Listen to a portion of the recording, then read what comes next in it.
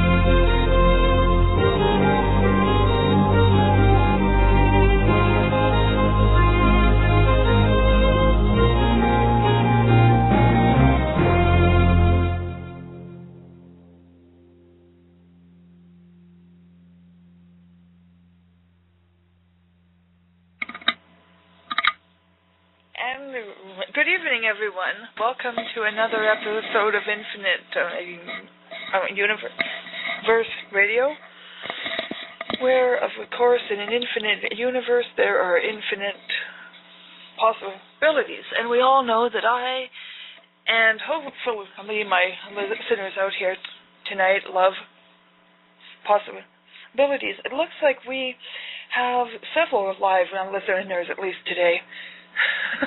Hello to all of you um, out there tonight, and hopefully everyone is indeed having a lovely winter Wednesday. Now, I am going to uh, tonight be talking with um, a young man who you might know from YouTube, Facebook, and various places around the internet as Enlightenment To All, or by a few other names discussing um, everything from the Mayan calendar to enlightenment, um, ideas of money or lack thereof. We might get into free energy. I'm not sure. It's so open, and of course he is a repeat guest who has been on and joined me before. And it does seem that there's um, quite a a, bit of interest. now I'll get to that in a, in a moment. I am just waiting for him to call in. At this point, he has not called yet, and should within several minutes. And then, of course, I'll get right on into it.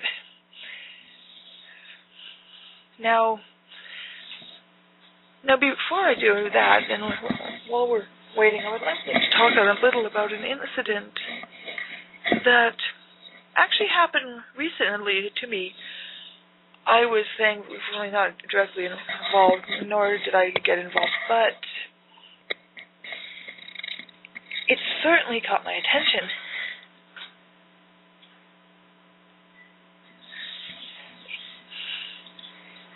It certainly did indeed, and I wanted to share it with you folks out there tonight. It's because I wonder, maybe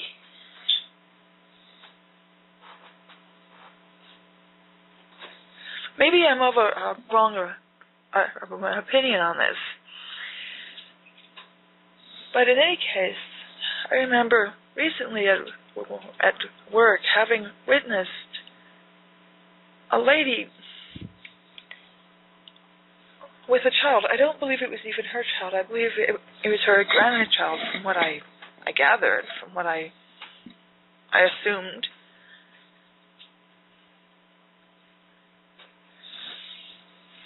But of course, uh, my attention was only caught at the time that the young child, four or five years old, had been sat in a chair at the front of our store, which of course I like to leave up there for the people to wait for rides or taxis or just talk on the phone or just warm up inside. So she had been seated in this chair, parked in it, while her grandmother, I believe it was, hovered over her, head to head, staring down at her from where she sat in the chair. This was a small child and a tall woman, saying something like, Do you hear me? Do you hear me? Do you hear me? repeatedly, over and over again, over and over, asking for some confirmation. The correct answer, of course, is a yes, and the child would not say it. To which was replied, All you have to say is a yes. All I wish to hear is a yes. And this somehow bothered me. I don't know. I don't know. Is it just me? Am I the only one who finds this sort of thing to be, in a way, almost creepy? And I'll tell you why. Because, well,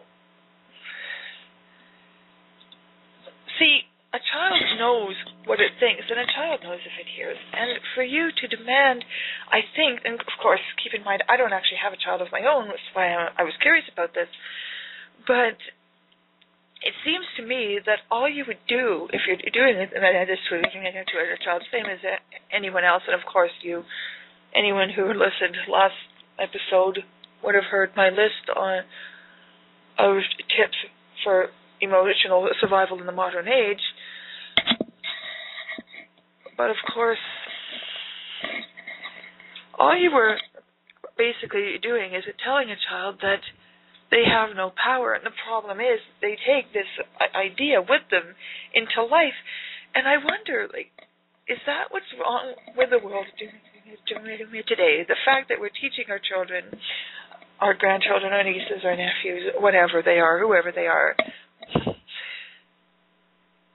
from the age of four and up, that there is somebody bigger than them. There is always somebody above them. They must always answer to the man or the woman. that to say to, to a five year old, you have no say, you have no power, you will speak when I tell you to. You do not control your voice, you do not control your ears. And it just bothered me. It just outright bothered me, and I don't know why it did, but it did, and I was meaning to bring that up last episode, but of course, I had a lot to cover, and I just kind of honestly forgot all about it. So, of course, do share your opinions on the Facebook page, which, of course, you can easily find from my um, my page here on BTR Blog Talk Radio, you will find a link to its page.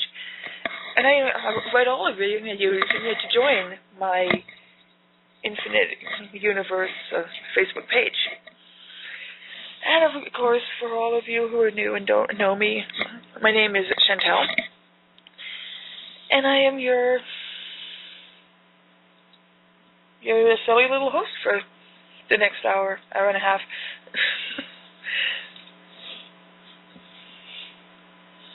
and I will tell everybody, and of course, probably hope fully I'll get into the habit of doing this several times throughout the show, that uh, you can call in and talk maybe to me and my guest. And if you wish to do that, call or Skype to us. Either way, um, three four seven eight eight four nine four seven nine. Three four seven eight eight four nine four seven nine. Want to reach me, and of course, indicate that you wish to talk to the host, and I will happily take your call. As as well, my guest who has already said that he would be happy to, do this. Now, of course, um, my my friend in, in enlightenment to all, Matt, is actually in and waiting for me for me here by the looks of it. So I'm just going to pick up his phone and we'll get right into this.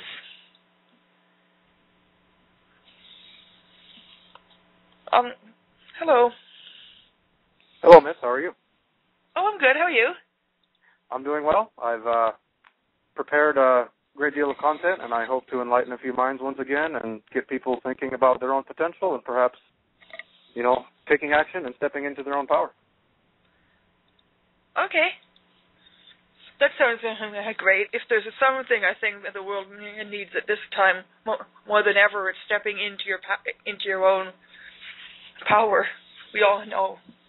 I love it. I mean, that subject too, personal power and stepping into it. Yes, I absolutely agree, and uh, it's encouraging as each day goes by. I see more and more people actually doing so, and you know, educating themselves on what's happening. Yeah. So where do you, do you want to start off with this evening? Well, I'd like to begin with the end of the 13th Baktun of the Mayan long, excuse me, Mayan long count calendar. This is uh, the main subject I want to cover in wake of uh, just the wave of information that's coming out now about the 21st of December. It's getting very close now, and a lot of people are talking about it. It's, uh, yeah. People's uh, people's thoughts are giving it a lot more power now, so it's it's becoming seen more widely and broadcast more widely than I think it's ever been before. Well, earlier today, I noticed I was driving home, and of, of course, it, it hit me. This is about five or six weeks away. yes, the It year is, has really wow. uh, the year has really flew, flown by, has it not? Oh yes, it has. All right, so um, basically, I'll explain first of all what a Baktun is, and uh, a Baktun is approximately 20 Katun cycles of the ancient Maya long count calendar, and the calendar contains 144,000 days, which is roughly equal to 394 tropical years, and it's been uh, let's see, the beginning of the 13th Baktun, I believe, was around, gosh, I'm going to have to check my data on that. I don't have that available right offhand. But it's uh it's been a long time coming and it's in all the prophecies. You see it more and more on television now on History Channel. It's everybody just seems to be talking about it and taking interest in it now that the end of this 13th cycle is coming and it'll be the beginning of the 14th cycle. Oh wow. And with this coming 14th cycle, it's uh, prophesied there's going to be a great awakening of the masses, an awakening of mankind. Um, some theories state that people who have, you know, studied much of spirituality and have uh, reached a certain point of development in their lives will remember who they are and who they have been and who they will choose to become. It's it, you can get technical with it, but basically it's what many call the Akashic record will be broadcast from the core of the planet into the entire galaxy. Meaning all information up to that point will be available for reference or in many circumstances people will just remember it.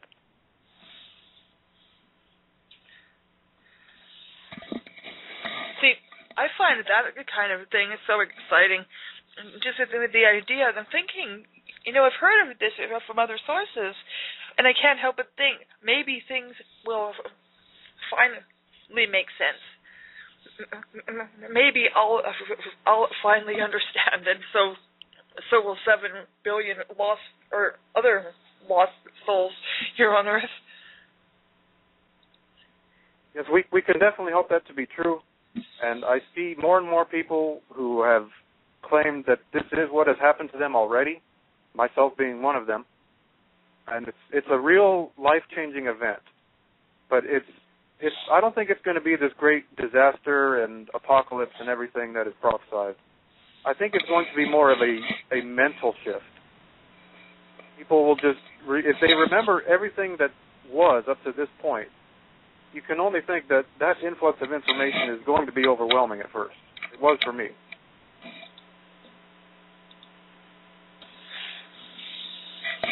Oh yeah.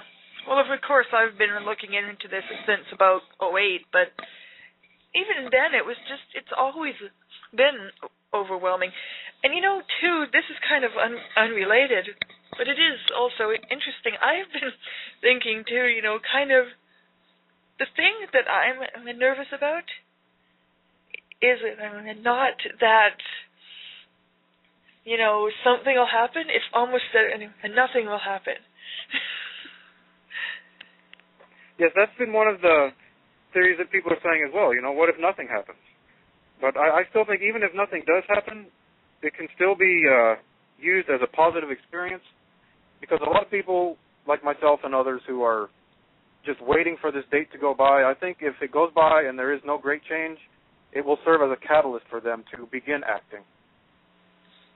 See, I had thought of, of the same thing that at the very least it will be sort of the final straw in a way that will force humans to kind of take uh, the power into their own hands.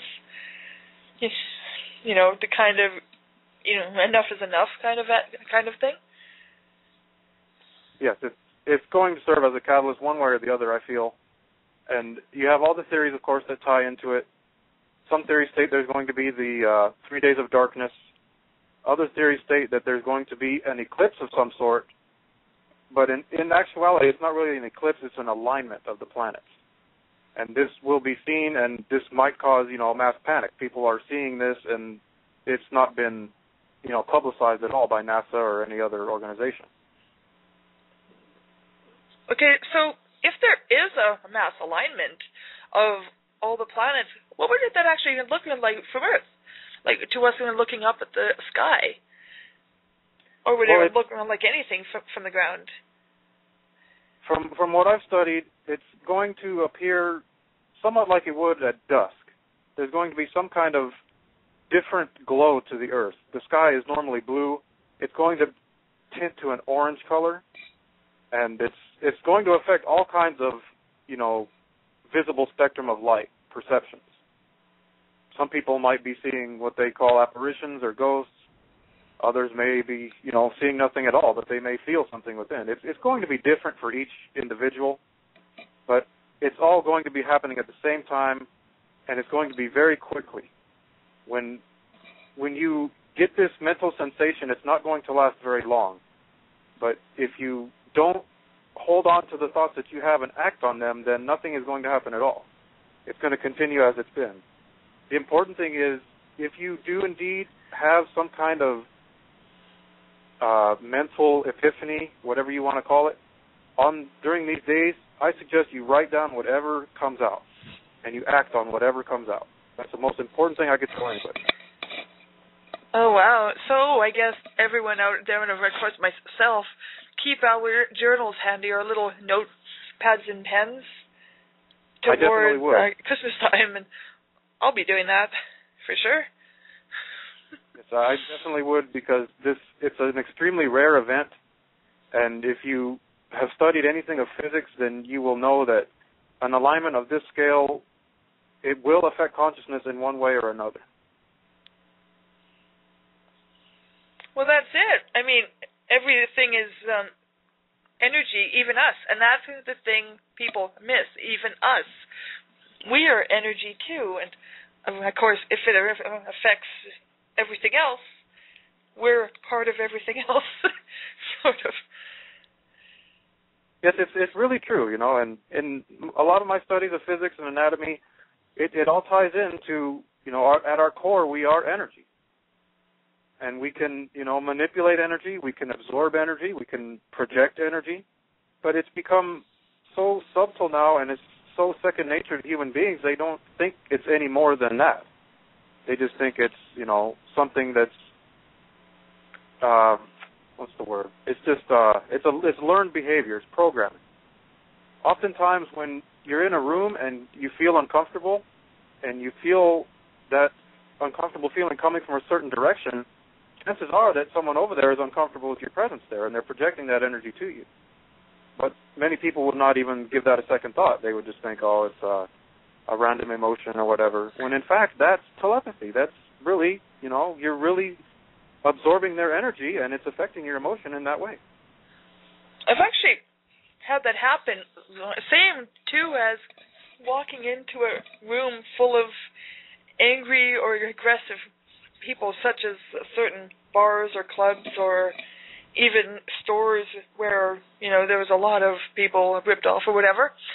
I find too. I mean, walk into a certain place, and once in a while, all of a sudden, it's just like anger, or you just feel the feeling of somebody being angry. Yeah, a lot of people would be a lot better off if they learned to trust that instinct right away instead of dismiss it or think you know it's their own mental game or whatever. That's that's actually you know telepathic communication. It's just become so you know suppressed now that writing and words has taken over as the dominant language.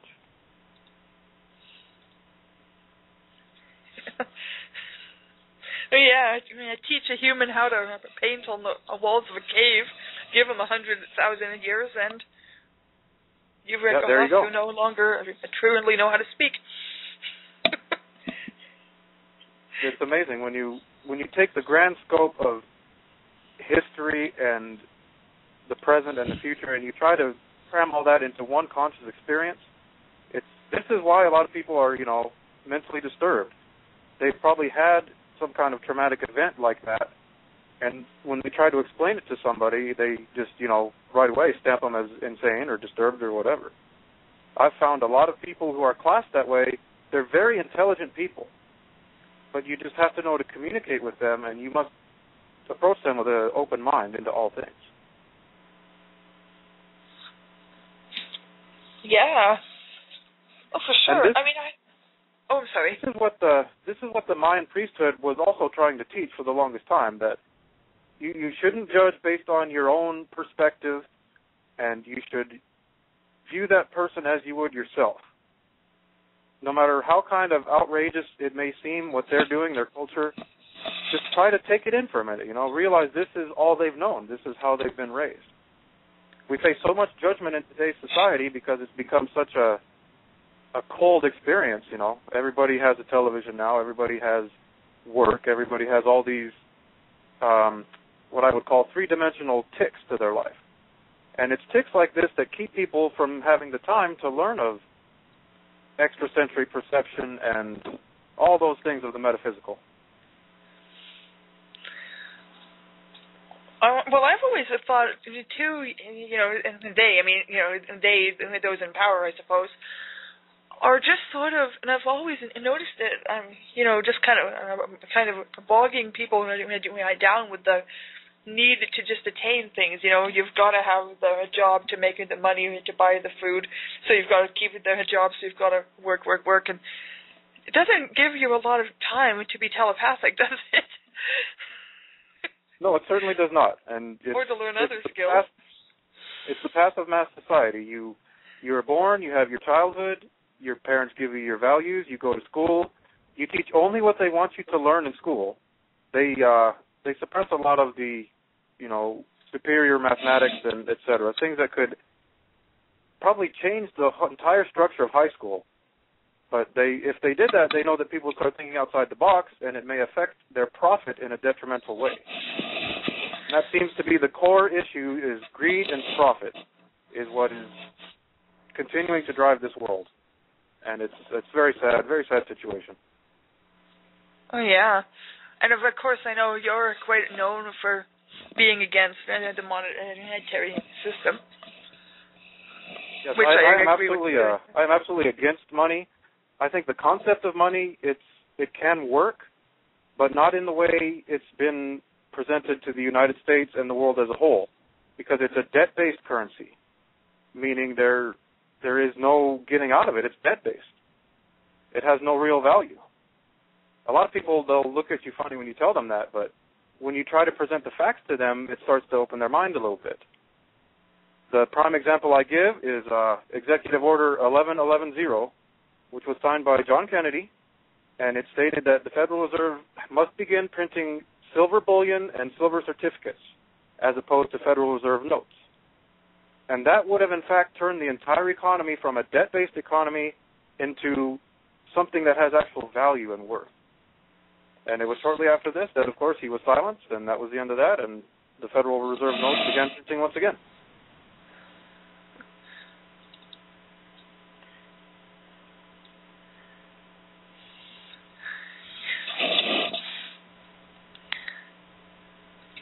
So, um, oh, I'm sorry. Of course, when you try to present any of that information to either anybody who is uneducated about it or they uh, have a different agenda, they will try to dismiss it and they'll try to demonize you right away. And this is a way that a lot of people can tell who is speaking from their heart and truth and who is not. Because you'll find that the person who's speaking from the heart will acknowledge that they may be incorrect about said theory or said subject or whatever. But and when they ask the same of the opposing party, saying, "Can you say the same? Can you say you might be incorrect as well?" Often the opposing party will give no reply, and that's that's your red flag right there. So, a tool of discernment, and it's a very valuable tool. I found it to work very well, and it's eliminated a lot of people who have been wasting time in my life. So I highly suggest it to everybody. Oh, thanks. So I know, um, and I'm not sure if you ever mentioned it actually on the on the show. I think you did. You were building some sort of technology. How's that Yes, working? I, uh, Is it nearly done yet?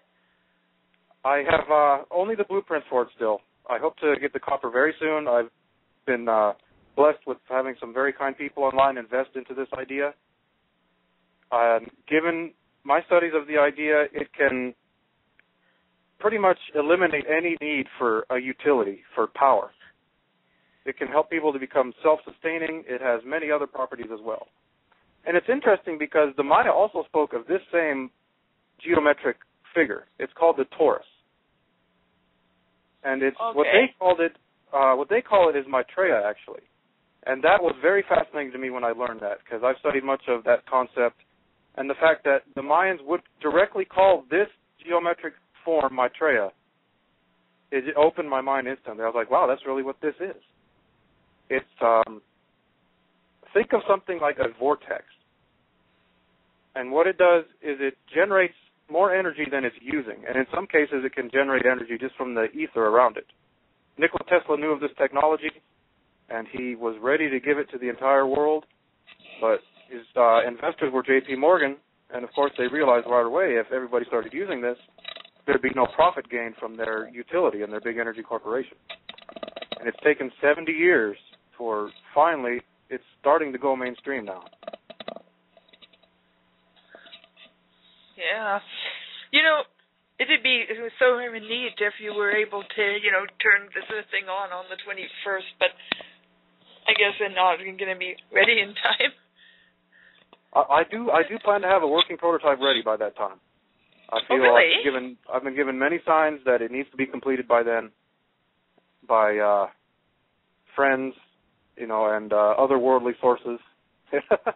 but I feel that must be completed by then and I plan to have a working prototype done before the 21st. Oh wow! See, as you as you know, I've always loved um, free energy concepts too. So, like, I would have loved to, you know, have like, say, a water powered car or something. You know, like I've always been into that sort of thing. So, obviously, this is really cool. The idea of something that can generate like, electricity for nothing. Yes, and the technology is there too. That's one of the most tragic things is this technology is nothing new. There really is nothing new in the wider perception because time is in fact an illusion. It's just your conscious level of perception of time that leads to the experiences you will have. And as you said, water powered cars, they're already running. They have several in Japan already. I've heard of this too, and I thought it was it was uh, fascinating. The only problem is, given human thinking, soon you'll have water filling stations that'll charge as much as as a gas, and you're not going to get ahead. But well, at least it's better for the earth, if nothing else. yes, and it's it's going to be absurd if they try to charge for gas. I don't think anybody would honestly pay for water to power their car. It's in such abundance, and that's well, why we have to keep these people honest. We have to keep the members of our government or whoever is governing over us. We must keep them under the microscope very carefully because they well, will try to trick us under a ruse of words for their own profit. Well, the thing is, though, up here, I don't know if you do this in the States. I know I commented to somebody, think I've commented to several people because this is just annoying to me. Up here, they actually charge for air for your tires.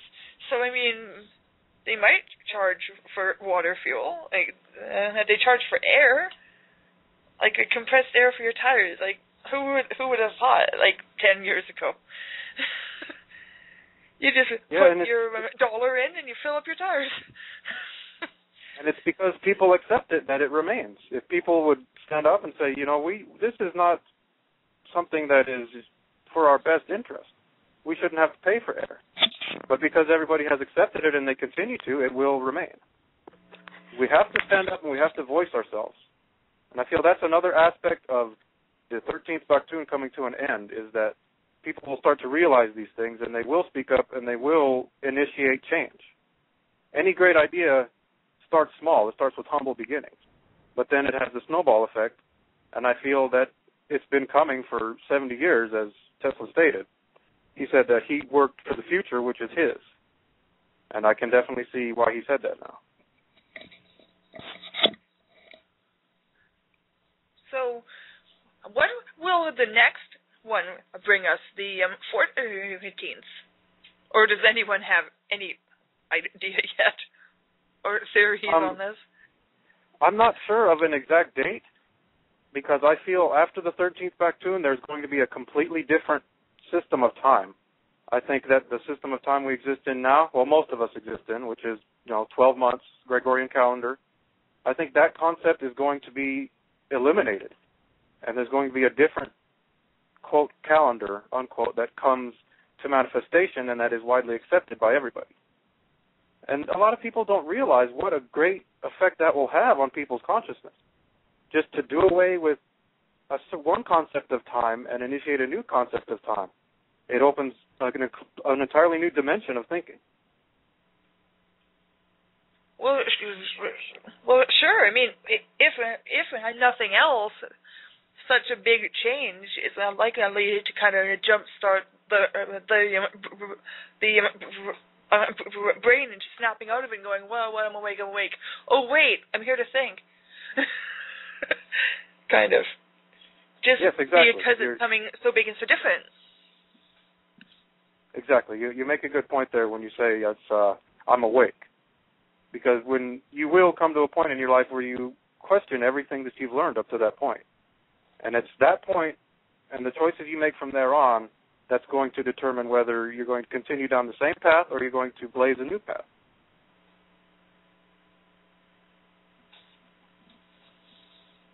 Yeah, oh, for sure. Well, I've already decided to go for the new path. Got my uh, bag packed and everything. Not literally, of course, but. and that kind of ties into the next subject I've prepared here, which is uh, occult magic. Oh, great. Okay. So many are going to dismiss it right away because you use the word magic. So I just to those people I ask simply keep an open mind.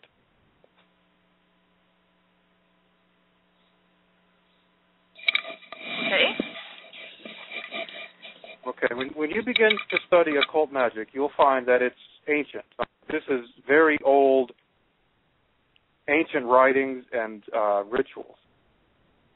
It's as old as writing itself, because writing is magic. It was because of writing that the pyramids were able to be constructed. You have to give man something they can see. That's what most of mankind bases everything off of, is what they see they can hear something, but if they don't see it, it, they don't really acknowledge it. So right away, when you invented writing, you've already invented magic itself because you're using your writing, be it in a positive or a negative way, to influence somebody's thought form. Okay. So with the dawn of writing came the dawn of pretty much measurement and time itself because they're all measurements. And one of the newer aspects of occult magic is time magic. And it, I can tell you that it is very real. It's also very subtle, and a lot of people are doing it and having no clue that they're actually doing it. In um, during World War II, the Nazis had a division that they called the Thule Society, and these gentlemen were very into occult magic and specifically time magic. When you look at the swastika, many people think it's a Nazi symbol. When in fact the swastika is an ancient symbol. It goes way, way back behind anything that the Nazis came around with. It's a vortex. And the vortex is the key to time travel itself.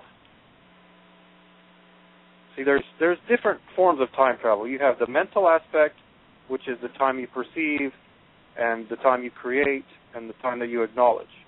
Then there's the manifestation when time travel becomes physical, where you actually travel back in time to a different period that you experience and that you see.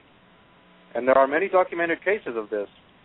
A lot of them are uh, covered up under a ruse of a plane crash, when in fact the plane did not crash and it entered what I call a electromagnetic vortex say, around the Bermuda Triangle, where many planes have been claimed to crash. When in fact the plane goes through this temporal rift and it emerges in another time period, and of course you never hear of them ever again. That's interesting. It's, it's very I difficult it to grasp. You have to have an open mind to even begin to consider these things, but the evidence is there. A lot of physicists will agree that time travel is in fact possible, and it happens all the time. I mean, you know, I've often heard, and I'm not sure where. I just know I pick up info all over the place. I'm sort of a, you know, random fact hoarder. I have often heard that time travel would work by simply folding folding uh, the dimensions over themselves, which in, which in theory can be done. Of course, I'm no physicist, but it makes sense if you think of every dimension as a, a layer, almost like a sheet of paper. I always thought that was so interesting. It's interesting you mentioned that, as that is one of the aspects of occult magic.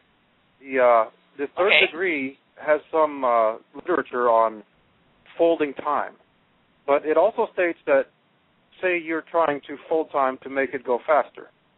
You can do that, and your perception of time will be faster, but there will come a point also where the time has to unfold. So if you fold time in one direction, it will unfold at some point in your perception the other direction. Meaning, say, you fold time to quicken an event.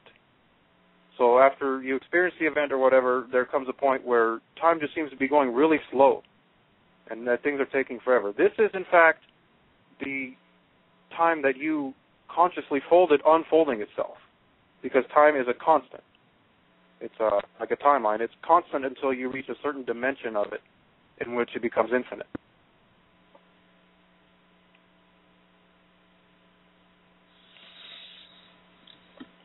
Okay. And some of the practitioners who are actually consciously manipulating time, they use methods like folding and unfolding and halving and things like that, which goes right back to mathematics. With and mathematics itself is magic. Pretty much any form of science you can attribute to illusion and magic. It's the same thing. It's just a different perception of it. A lot of the old scriptures call it magic, and of course, as we evolved, we adapted new terms, new words to help and better understand it. But it, it, it's in actuality the same thing. Science is magic itself.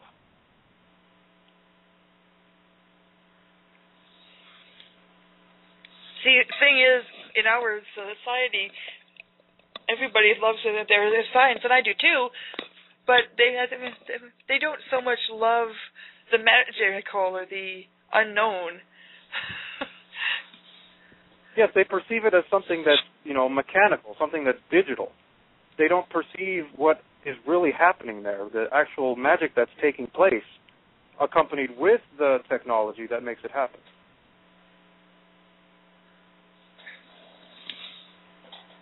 Mhm.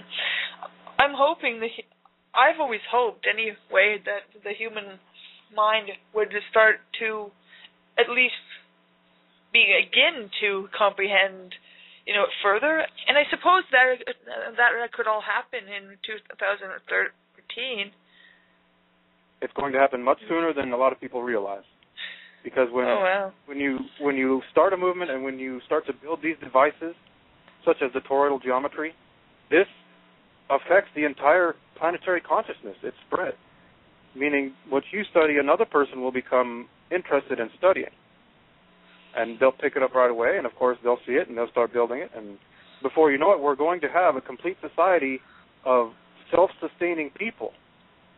And granted, barter will still probably exist for eternity, but it's going to be a much more open barter and a much more fair barter because everybody will already have abundance. They'll have all the luxuries of today without any need for profit or greed itself. And a lot of people are not going to be able to handle that. Some people base their entire life and perception off of greed, and I don't know what's going to become of these people. Uh, they're just they're not going to have any space in this new society.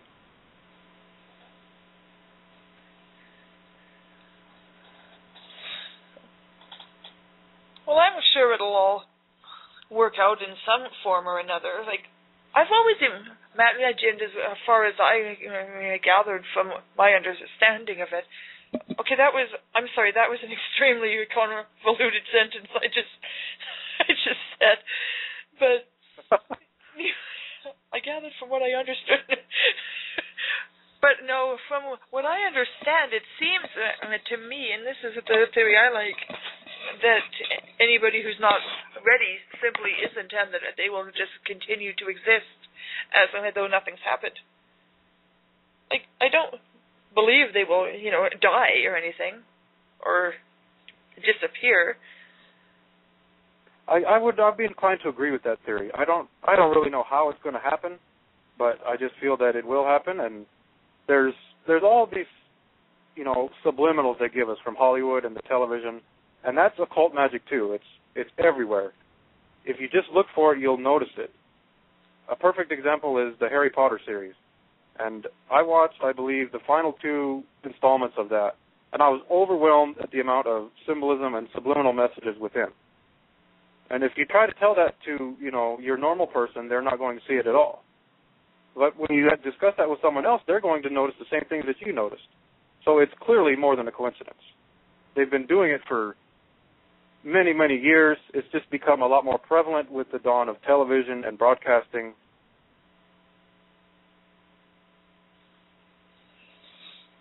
Well, yeah, I mean, now we're in a society you can broadcast a single image around the world in seconds.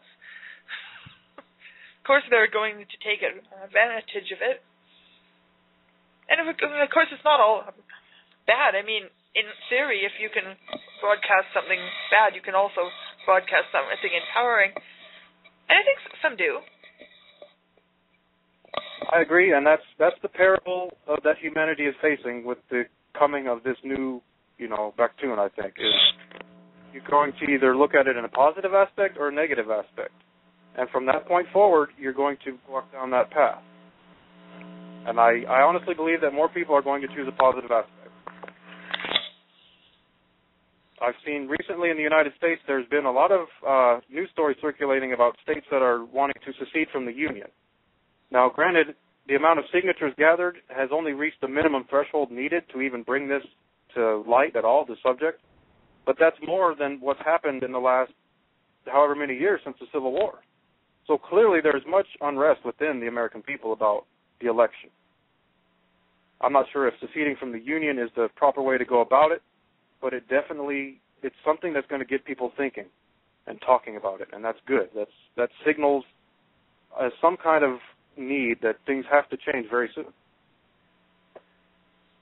Oh yeah, I take it just the fact that everybody's talking, or even even uh, even listening, uh, to be a, a good sign. It's a sign of something. Exactly, and it is because when the more you think about it, the more you talk about it, the more power you give to that idea. And that's why money's become so powerful now. Everybody thinks about it, everybody wants it, everybody gives their thoughts to it. Therefore, they're giving it more power over themselves and over those who control it. It's very it's very simple. It's it can be very complex when you try to understand every single intricacy, but anybody with a noble heart and mind will perceive it very simply. It, it doesn't have to be this way.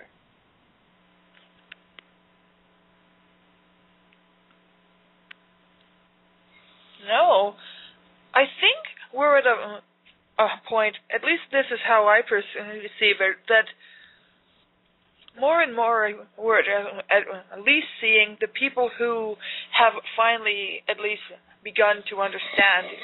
Maybe they don't have the answers. I mean, I don't. You, I don't think anybody has the full solution. But people are finally starting to understand that maybe there's at least something more out there. There's at least another option. I agree. And it's you're right. You know, not everybody has the total answer. But when people begin to work together, they find pockets of other people who do have that answer. And when they work together, everything falls into place perfectly. If we could just unite and put aside all differences, things would happen so much faster. And that's uh I feel that's what's going to happen very soon. It's going to take a catalyst in order to tip the scales in our favor, but I think it's going to happen a lot sooner than people think. And definitely if there's some sort of celestial event that everybody bears witness to, that's going to serve as a big catalyst as well right away. So in some ways I'm actually hoping that it does occur, you know. I don't wish for any kind of disaster, meteor, etc. But if there was an eclipse that nobody was expecting, they're going to start asking questions right away. It's going to be a mass awakening, I feel. Yeah.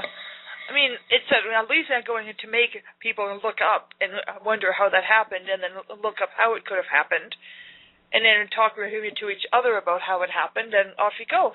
And the funny thing I noticed do you realize, and I'm sure you have, that as you spoke about the idea a little earlier of people doing more and more and more and branching out and out and out, you basically described the human version of the power vortex. You had exactly. just described. It's the same thing. It's creating something bigger out of less.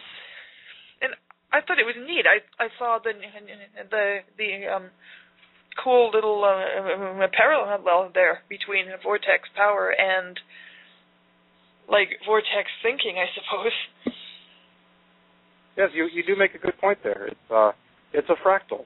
It's it's just like breath itself. You breathe in and you contract, and then you breathe out, and you expand. Uh, that's the same can be said of anything that most of humanity deems as alive. If you're alive, you're consuming and you're producing something. That seems to be the most common parable in any current conception of something that's alive.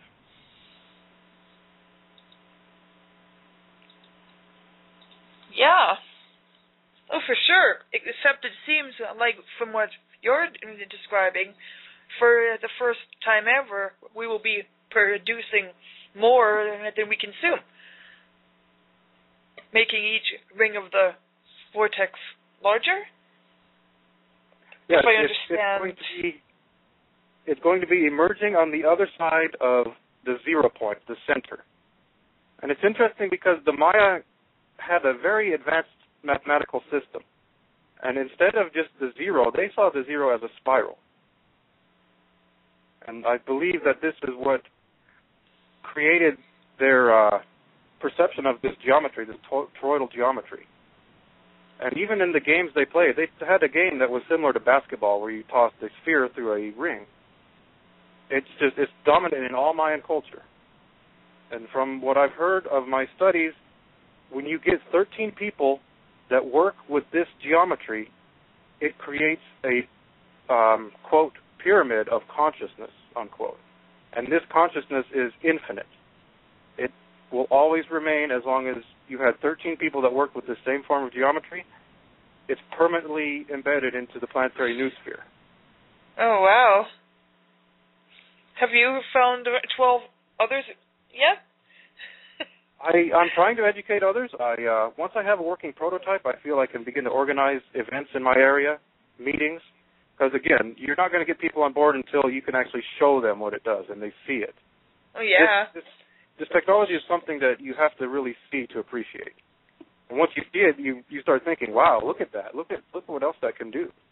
And instantly, it, it changes your whole perception of the world. And in my studies, that's in fact what the torus is. It's a whole to fourth dimensional consciousness in three dimensional geometry. And you see it symbolized in many things the circle, the halo over the angel's head, um, the thornlet that Jesus Christ wore. It's the same thing. It's it's trying to give people the message in the fourth dimension that can't be conveyed in the third dimension.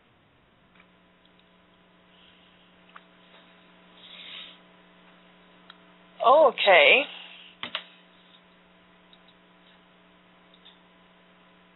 And it's also the key to like time travel, as I said. It's when you see this geometry, it will do something to your consciousness. It, it has some kind of effect on you. You may not acknowledge that for years to come, but it, if sooner or later you're going to, it's going to hit you, and you're going to be like, "Wow, that's what that was." And you know, everybody knows about the 13 bloodlines of the that supposedly rule this world, and you can only wonder how have these bloodlines kept everything under their order so long? And then when I heard about the toroidal geometry and how it permanently etches consciousness into a planetary sphere and thinking, I think that's exactly how they've done it. And you know that actually adds up. If the if the facts are all correct, it makes total sense. And of course, you see the number thirteen a lot. Like it's sort of the number of people have feared, but you do see exactly. it a lot. Exactly. It's it's always conveyed as a number of fear, like the thirteenth floor in a building, the Friday the thirteenth, or you can go even to the tarot. The number thirteen is the death card. That's what the occult tries to do. They try to imprint fear into anything that they practice. So it will discourage people from trying to do those things because that that in fact is stepping into your own power. It's nothing evil, it's nothing wicked. You can use it for that purpose if you choose to, but you can just as well choose it to do good with it.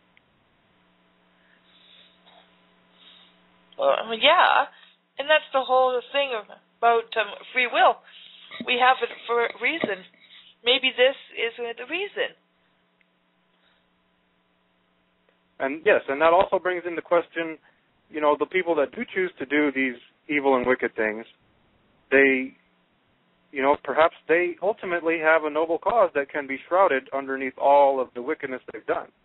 When in fact, perhaps they're teaching humanity not to be so naive, not to trust in your government, not to trust in anything outside of yourself. And of course, they'll probably never admit that, but I've that's a theory I often come across in speaking with people about this subject is, you know, they must be doing this for a reason to try and help us in some way, even if it comes across as something horrible or terrible. See, that I'm not sure. Like I would think that they don't really mean it or know they're doing it. However, we as humans can choose to take a good out of anything negative. For example, you know, you get into a car crash, hit a uh, fence, total the car, and break your leg. You you could spend the next five months, you know, grunting and groaning. Oh, I wrecked my car. I hurt my leg. I'm injured. You know, or you could choose the positive and say, well, the insurance company helped me get a newer car, and I learned to drive safely on the ice in the winter. You know, because I don't want to crash again. So, I mean, I think it's just a matter of take from it what you will, but there's a good to be found in anything. In anything negative, I suppose. Exactly, I agree totally. It's it's it's how you react to the situation that's ultimately going to matter. You can take any great situation and you could turn it into something bad, and you, vice versa. It's your reaction that matters. It's your reaction that will define you. Many people would do well to acknowledge that, and they would begin acting in a much more civil manner. I feel. Yeah. But of course, it's it's the whole human thing. Emotions come into play, and a lot of the times emotions take over. Everybody knows that. It's that emotions are a very difficult mastery, and it's tied directly into humans. That's one of the main things that comes with human beings is emotions. Mhm. Oh yeah, humans are all over. I've I mean I noticed all over the place. We can be have be one second and the next we're ready to at worst case put a hole through a wall or or some other such thing. You I don't agree. see that too often in other animals. Well, animals they they're going to survive a lot of these supposed coming catastrophes because they help one another. They operate on a different consciousness level than most of mankind does. And there was a time that mankind did think like the animals. We only thought of ways to survive. We never thought of seeing a reflection of ourselves so that we could learn from that and maybe, you know, begin to build. At some point in history, I think that we were bestowed with something from the heavens or wherever, whatever you want to call it to begin thinking differently developing the metaphor. It just seems over the history of mankind that there's these great evolutionary leaps in consciousness. It happens in a short period of time when you compare it to the grand scheme of everything. And I feel that's what's happening right now. I think we're in another one of those cycles where evolution is making a great leap forward.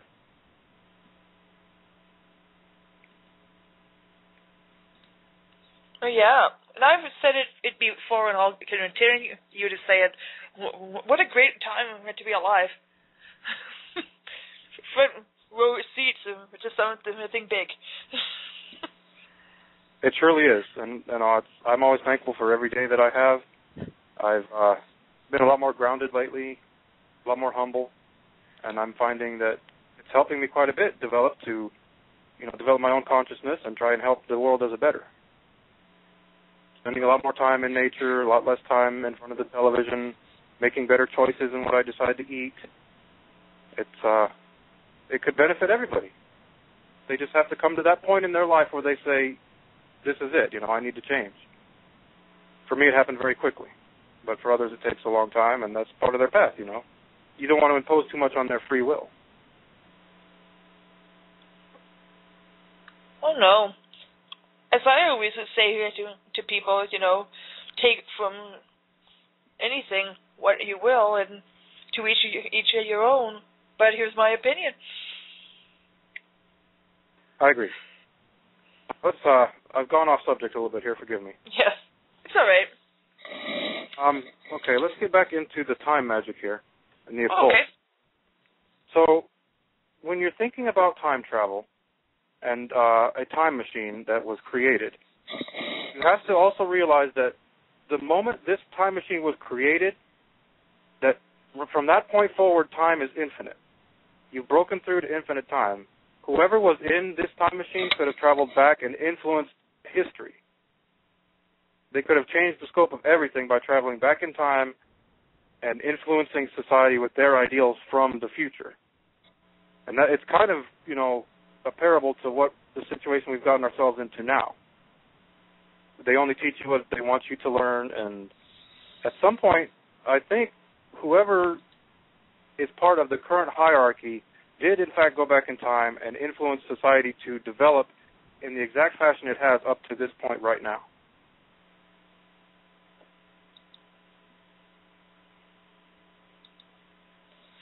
Mhm. Okay. Hello? It's in, it's interesting Oh, you are because still there. Sorry. no problem. It's interesting Sorry, I- because that uh, the Nazis really came to power after they had their expedition into Antarctica. And my studies tend to show that Antarctica is not the land that people think it to be. If you've heard of the hollow earth theory, it ties directly into that. At some point, the Nazi scientists went down there and they acquired some kind of knowledge or information that they did not have before. And when they came back, they had all this advanced technology. They were involving themselves in time manipulation. They were building stealth bombers. There, there's something there that they found that was it changed, you know, their whole consciousness, the entire grasp they had of science. And over history, you see other similar stories like that. When uh, Leo Dinar- excuse me, Leonardo da Vinci went into the caves, and he said that he had some kind of epiphany in there. And when he emerged, he had all these ideas, like the uh, helicopter, and his art went in a new direction. You can only wonder what's really what's really underneath the surface of this planet. I think there's definitely something there that is suppressed and that they don't want people to know about.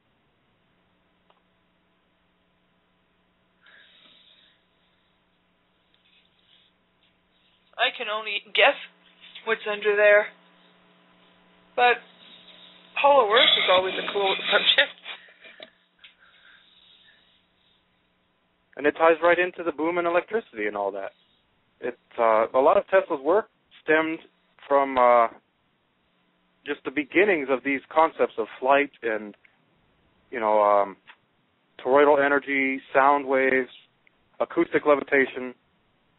That's another one of these newer aspects that's coming to light now is this acoustic levitation. You can basically levitate an object with sound alone, just the sound waves around it. And I that, feel that I haven't ever heard of, so this is interesting. Yeah, go ahead and look it up. It's called acoustic levitation. And I honestly feel this is what the Egyptians were using to build the pyramids, moving those giant stones. I mean, of course, I think there was a lot of physical labor involved, but I also think that they had a lot of advanced technology that people don't give them credit for, such as plasma technology. That's another one. It's um, reactive energy. You take two elements, two compounds, and they re- when you combine them together, they react and form energy. It's I believe this is what they used to light the pyramids with was this plasma tech.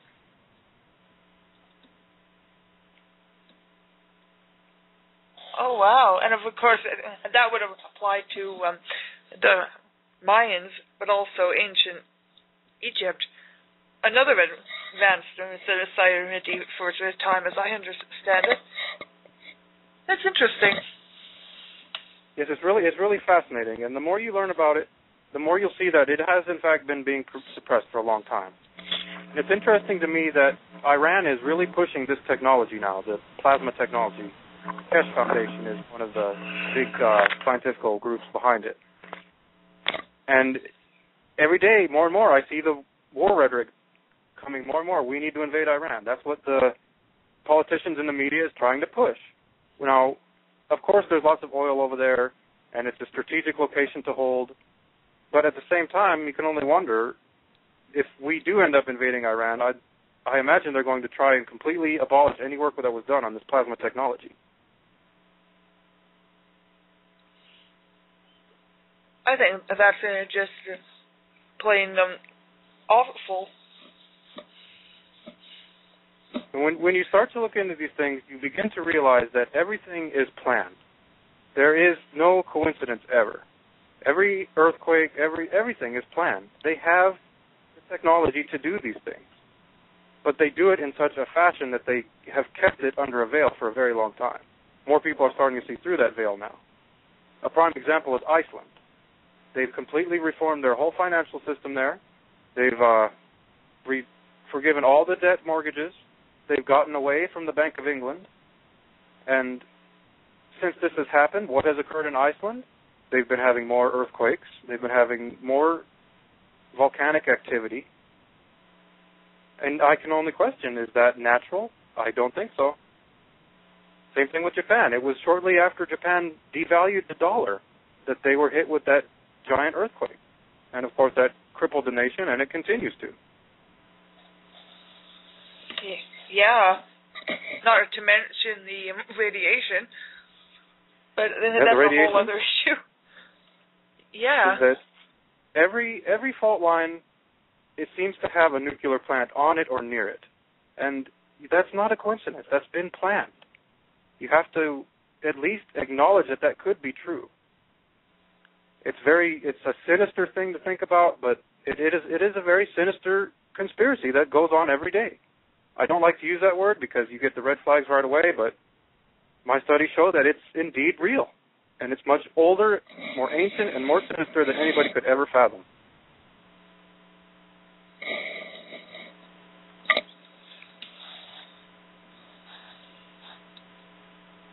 Oh my gosh. That both makes sense and greatly concerns me. And that's why we need to acknowledge it and we need to step up and say things about it. We uh, we can't continue to let ourselves be governed by people that have broken our trust, that continue to feed us lies. They continue to, you know, they serve only their own agenda, be it for whatever reason. I honestly think that they're waiting for us. They're waiting for us to stand up and take a stand. And I think that when we do, we finally do, they will acknowledge that and they will not push their agenda anymore they'll in fact begin to work with us. We just have to get to that point where we're finally there and we're finally united and we say, we're going to take over the government. We're going to govern ourselves.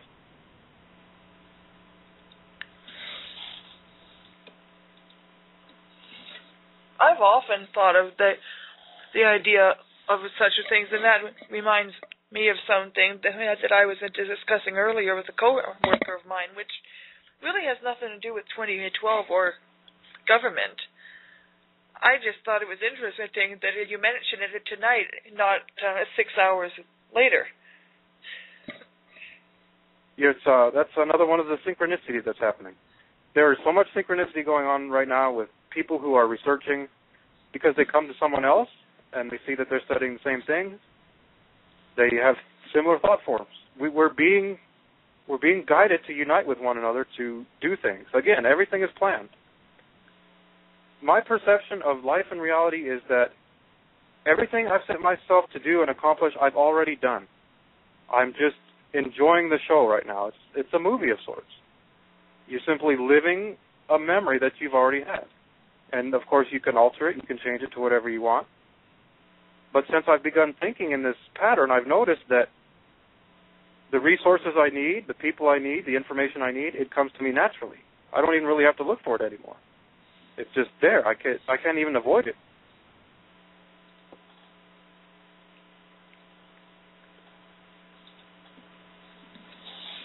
Mhm. That's a that's a good synchronicity. If only I could get them working so well for myself, I'd really be in the in the business. When am starting to get the hang of it? It, it's nothing that can be rushed. Everybody develops at their own pace, and it's just uh, quote coincidence unquote that many of us are developing faster now because we've been we've opened our mind to this whole new dimension, a whole new world of thinking, and it in fact exists. It always has existed. And there's going to be a point where we perceive in that reality where a whole new world opens. That's infinity itself. It's when you think you have it all under wraps, the rules change, and it's, it's you got you must learn again. You have to unlearn everything you've learned and learn anew. I guess that's our that's our gift. That's the biggest gift humanity has been given is the chance to develop and learn through all of this great hodgepodge of everything we experience.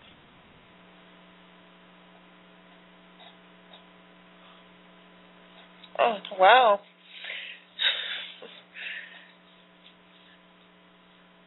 And with the coming boom in technology, I think things are going to be a lot easier to circulate. Information that was once, you know, inaccessible will become accessible with relative ease to people. And there's there's just such an incredible boom in technology recently with, you know, nanotech and 3D printing. 3D printing is going to be the new big thing, I think. Everybody's just going to start printing their own tools, their own materials. You can even print food. It's it's one step away from the replicators you see on Star Trek. It really is. Oh yeah. See, I've often thought too about how you know how great it would be to have such technology in our lifetime. I believe it could be done. I just again, it's it's about suppressing the knowledge to keep control of the money, to keep control of the people because you can control the money, you control the people. Control the people, and you control the world. Exactly. And it's also uh, the weather. You control the weather, you control the world. And there's lots of weather manipulation going on right now as well. Oh, yeah. Like I had a, Hurricane I had a friend Sandy, recently. I don't know. Oh, sorry? Yeah, I was just going to say Hurricane Sandy. I had a friend recently who was affected by it, and uh, he came online and we were having a debate, and I told him, if I told you that the man you voted for, Barack Obama, had direct knowledge that Hurricane Sandy was going to be steered into your area, would would that change your perception of you know maybe I shouldn't have voted for him? And so I started him down the path. I gave him a few links to, you know, um, weather manipulation and how it works, and you know current maps that they have, resources where you can see the current electromagnetic readings for that area. And it's what it showed was about a week before the hurricane came ashore, there was a long wave frequency that began to peak right as it came ashore in that area. I honestly believe that he's, well, I don't think he himself did it, the globalists, I guess I would call them, steered this storm into the Northeast for their own agenda.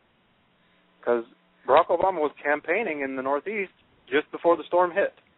And I'm sure he was telling people if the storm doesn't come ashore, I promise you aid, I promise you this and that and it garnered him many more votes. I'm certain. Oh my gosh.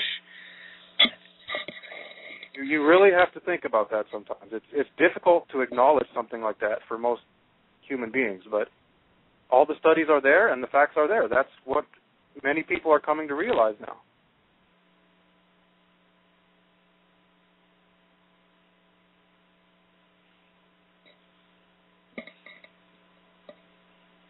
It just seems like a sad state state of uh, affairs. Of course, I do believe in change and hope, and and of course love and harmony and all that fun stuff.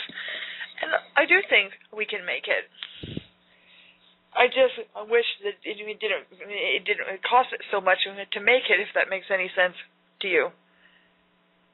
It, it Nowadays, does make sense like- to me. It does make sense to me, but again, at the same time, if things have not developed that the way they have up until this point, I don't think that there would be so many people waking up and realizing these things. Even if you take away one event, say Nagasaki, the bomb that exploded there never happened. Think of the impact that would have on the future. It would have such a vast impact that, you know, everything might not have happened as it has up until this point in the timeline.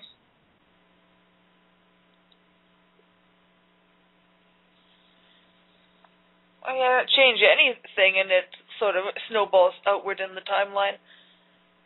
it's it's easy to think that oh we could have done away with that and that didn't have to be but when you say those things you must realize what you're altering there you you're altering your current future right now a lot of people don't don't they just have no idea what they're wishing for what they're thinking about the effects that that really has on the future.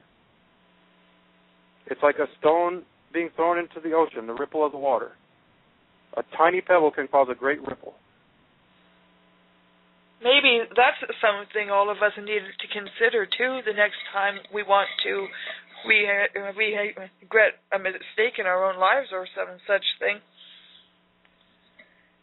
Yeah, you can you can either perceive it as this happened, I regret it, you know, I wish it never happened, and you can dwell on that, or you can perceive it as it's happened. Let's build from here. Let's see it as you know a step that we took. Well, yeah, if you can't change the past, at least make a better future than the one you would have gotten had you done nothing but dwell on the mistake. Exactly.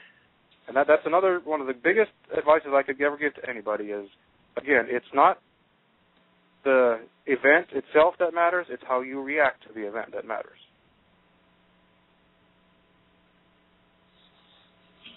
Yeah. Well, I always try to stay positive and look at the bright side of things, much to the uh, dismay of several people in my life.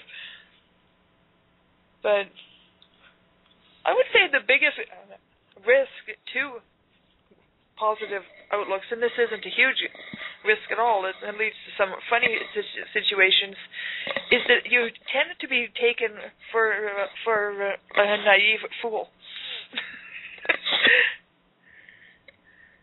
I agree, and that's uh, that's become programming of society.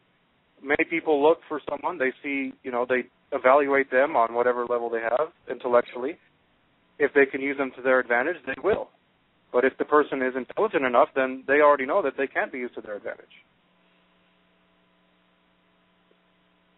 Oh, for sure. And it's, then, it's almost the... like a it's almost like a child, you know a playful child who doesn't really know any better. All they know is this can benefit me, this can make me happy. And that's I honestly feel that that's how those who are in control that's how their thought forms work. They act as children. They don't think of the greater good for all. They continue to drag out an agenda that seeks to that seeks to, you know, delay things and delay what's going to be inevitable. Mm-hmm. But again, I can only offer my own human perspective on it. It's flawed. I have my flaws as anyone. And of course, I will probably make many points that I may contradict. But again, that's uh, that's just part of the learning process. Being human, and I would just like to say too, we have just over ten minutes um, left on the air here. Um, okay, twelve minutes left in the air. If anyone has any questions, either in the chat room, that's okay. Um, post them and I'll ask them. Or if someone would like to call in, has been hoping to, but it didn't, go ahead and call, and I'm sure my friend here will be happy to answer you at four three seven eight eight four nine four seven nine. I guess I see some of the discussion in the chat room now gentleman makes an interesting point about the cell phone towers here. You know, in, in my studies, cell phone towers are a form of free energy, and they can in fact power homes or just about anything that requires electricity wirelessly through these cell phone towers. Tesla had a similar design, but they, of course they're only going to push it as the agenda. There's they're only cell phone towers, but simply look around. Where are most of the cell phone towers located? By government installations, by hospitals, by schools. That's no coincidence. And of course, it ties right into, oh, well, they need to be in this area because this is a populated area. See, they, for every point you make, there's already a counterpoint they have, a counter argument.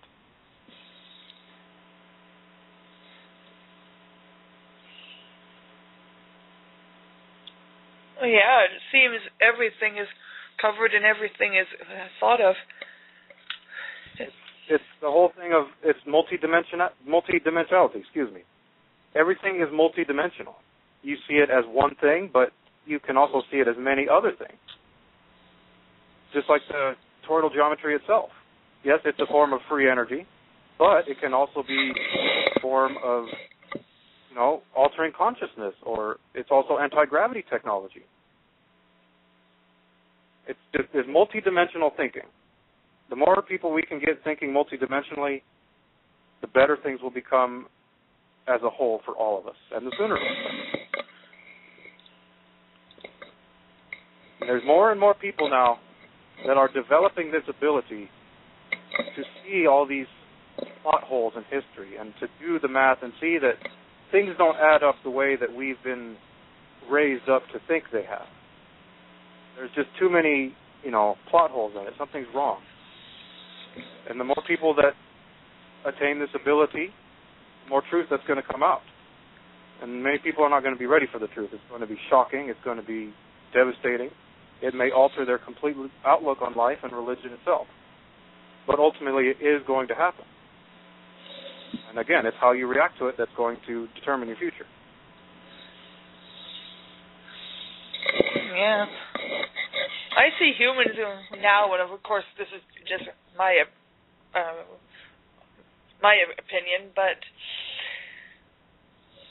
I've just lost my train of thought. oh yes, I was going to say I see it now, just my opinion only, as so many people are now seem seeming to be in this state of they want to know and yet they don't. I mean, as I've often said to people so many times, and of course I'll say it say it again. No wonder people are going crazy. I mean, there's just it's uh, like being shut into a uh, to a to a, a, a box that that you want to get out of, but don't feel safe outside of. You're Not exactly right. feeling safe You're inside exactly or right outside. It, you're exactly right on that. It's stepping out of your comfort zone can be very disorientating. It can be very fearful. It's like coming from a world of black and white into a world of color. You're you're instantly just completely overwhelmed. The information overload is it's very very difficult to accept. And uh, it, for me, it happened very quickly, and I, I definitely understand why people could go insane from it very quickly. These this kind of information it it just completely twists your mind you have to have a very strong mind to be able to comprehend it and then to be able to acknowledge it as yes that is indeed what i've been experiencing. A lot of people will rebel against that. And that's what ends up with you know these all these uh disorders they like to label us with bipolar asperger's etc i don't see those as a flaw. I just see those as another dimension of that person. To me it's it's a good thing about that person Yeah, oh, for sure. I mean, I know folks of all, you know, all types and quote unquote disorders, and I don't think there's anything, you know, negative about them. Like, Nor of do I, course, if you look at it, the word disorder, it's like disorder, chaos. Well, exactly that exactly doesn't there, there's quite sum there up a nothing person. wrong. No, it's like that word just doesn't fit humans anyhow. To say a human has a disorder, it's like basically it can only mean something chaotic in the brain or in the body, and I suppose, but it's not really quite accurate. Excellent point there. Excellent point you make. It's, don't don't judge a book by its cover. That's that's a great piece of advice because a lot of people who you think may not be intelligent at all or whatever, you'd be very surprised as to what they know. So just don't judge a book by its cover ever. That's just showing complete ignorance and you're only really harming your own personal experience through doing something like that. Oh yeah, well, for sure. And I mean, and never assume somebody can't or won't be able to. These are the things that just drive me up the up the wall. Is that the world is full of can'ts, and I must say that I must say, you know, I'd love to help you get rid of that can't, but I don't have a back backward can opener. so All right, that's uh I think we're almost about to go here, so I'd just like to make my Yeah. closing uh, statements here. Oh, great. Oh, okay. Okay, the first of which anybody who's listening to this, I would like you to research uh, CERN and the Large Hadron Collider. Um, this is a device, I believe, that is manipulating time. They say they're searching for the God particle. What actually they're searching for is the antiparticle. And what that is, is it's the reverse spiral. If you if you'll study CERN, you'll see that it's just one big toroidal coil, and it, it's but the spiral in the coil is only orientated toward one direction, which I believe is clockwise. And what the Mayans are talking about in this toroidal geometry, the Maitreya, they operate on a different spiral, the antimatter spiral, the uh, antiparticle spiral, I guess you'd call it. And it's, this is the spiral that is leading toward the past, at least in consciousness, not so much in physicality, but consciousness. It's what they've done is they've captured their consciousness in the 13th pyramid, as I've said, but due to this spiral motion of it, the consciousness within is geared more toward the past and you know an, an older form of thinking, whereas CERN and the Large Hadron Collider is sort toward the future and toward you know a lot of the aspects that are currently in play, such as control, such as you know all of those things of a negative nature. Mm-hmm. There's one I'm- positive spiral oh. and one negative. I'm sorry to interrupt here, but we have a caller who I believe is trying to call in at the in uh, in at the end of the show here. By all means. Do you mind if I bring them on board? By, by all means. Okay, I'm just gonna grab him or her then. Um, hello. This is Hey. Infinite Universe um, um, Radio. Hello. Hello. Hey Matt, Hello, what's sir. up? How are you? Good. It's uh, it's Andro. Ah, welcome to the show. Thanks, brother. How you doing, man? I'm doing well. Just uh, Cool. trying to enlighten others. Awesome. Great job, man. Great show. Well, thank you, and I have to thank my host as well. Um, did you have a question? Uh, not really. I was actually really getting into what you were just saying. I was actually willing to wait until you were done. Oh, concerning the spirals. Um, Uh, well, uh, you were you were talking about the CERN and uh, the time, uh, the you know the uh, past uh, thinking con- of influence uh, from Kern. yes, it's uh, what my studies of CERN, CERN show that it's it's trapping that consciousness that the current global elite are functioning with, and it's expanding it because they're going to build another hadron collider soon, and it's even larger. And it, it this is very dangerous technology they're working Oh with. Oh, wow. Another collider? Yeah, there's going to be another one. It's uh, look up the Alice experiment. That's one of the current things going on at CERN right now.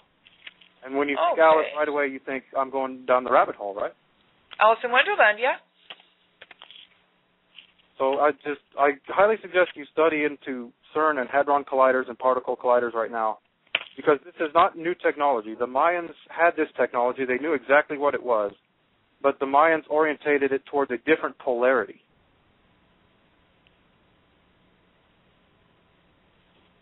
And it's another point I'll make really quick is there's a great video circulating online right now on YouTube about uh, one of these Mayan gentlemen. He's uh, one of the priests there he talks about all these things about CERN, about the spirals, about the toroidal geometry. He offers such great insights. I knew exactly what he was talking about just like a few minutes in. He can probably explain these things better than I am I can right now. Okay. But if you're have- interested, I highly suggest it. I have that uh, link that yeah, you sent it to me, so I will post it on this show's Facebook page. So anybody who is anybody who is interested, do go to the page. I will have it up as soon All as. I can on there for anyone looking for this um, video. All right. Well, I uh, I thank for you thank you for your time, Miss. I hope you may have me back soon, and I uh, I've been happy to be a guest, and I hope that people will listen and just view the world with an open mind. Well, thanks for coming on, and thanks and for for calling in and Oh, to join you. us. Oh, no problem. And everybody have a good evening. And thanks again for tuning in, and I will see you in a couple of weeks with a brand new episode and new sub, uh, subject matter. Have a have, have a lovely evening, everyone, and do hit your follow button if you liked what you heard and would love to hear more.